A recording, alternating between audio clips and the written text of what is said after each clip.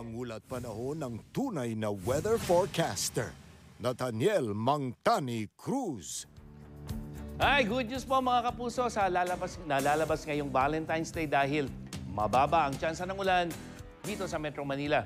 Pero mga kapuso, ah, ngayong umaga, bahagyang malamig pa rin sa 21 degrees Celsius.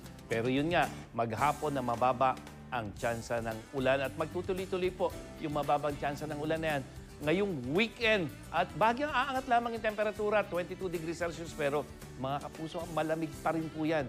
At muling lalakas ang hanging amihan dito sa wind map na tinitingnan natin. Makikita nyo mula dito sa itaas, dito nang gagaling yung ating hanging amihan, malamig yan. Kaya kitang-kita nyo po, bumababa yan patungo dito sa Northern Luzon. At yan ay ah, posibleng linggo ng gabi o kaya lunes ng umaga. At yan yung magdadalang muli ha mga kapuso ng malamig na temperatura sa Luzon, unti-unti dyan sa Visayas at posibleng sa Mindanao sa mga darating na araw. Kaya dapat I am ready tayo. At yan ang latest mula sa GMA Weather. Ako po si Nathaniel Cruz, magplano para sigurado. I am ready.